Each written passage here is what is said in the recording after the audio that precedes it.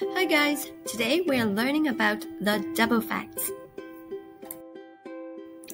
Double facts are additions in which a number is added to itself. What do I mean exactly? Let me show you. Here I have two mats. These mats will be the tools to help us find out the double facts. When I put one cube on one mat, I need to put the same number of cubes on the other mat, which is 1 in this case.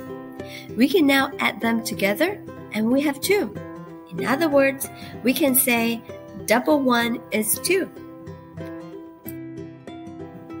Let's double the number 2. I put 2 cubes on one side and another 2 cubes on the other side. We add them together and we have 4. Double 2 is 4.